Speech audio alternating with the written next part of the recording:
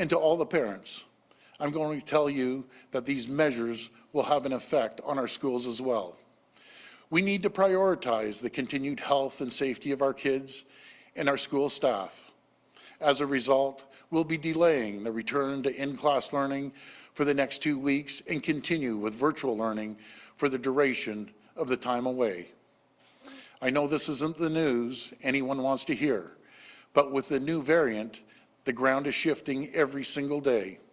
The level of absenteeism we're seeing in other sectors tells us with absolute certainty that operating schools, ensuring teachers are on the job and not homesick, will be a challenge we cannot overcome in the short term.